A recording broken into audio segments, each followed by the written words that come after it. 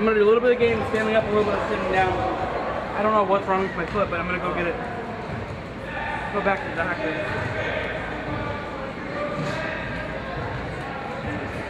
How you doing? I'm glad we're together. Yeah. I want Dylan to do it too. Play some music, but it's also us doing it. We can't do the all nighter. Besides, I'm not playing with it. If we wanted to. Ice cream. Oh, 75 cents.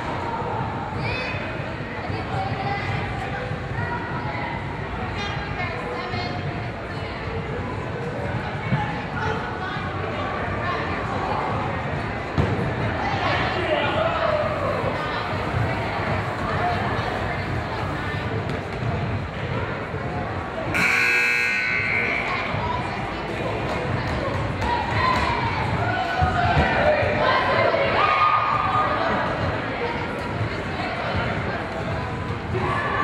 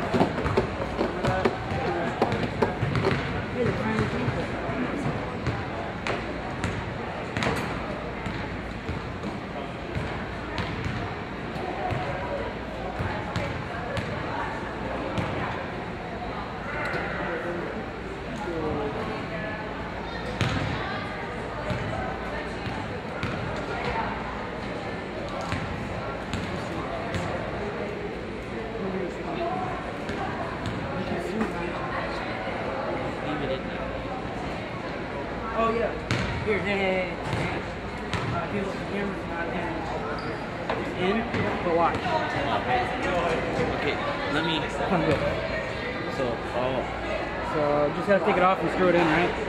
Uh, or just leave it like that? Nah, it, it's probably good like that, Caleb. They ain't gonna go in. I am. We only got three, less than two minutes.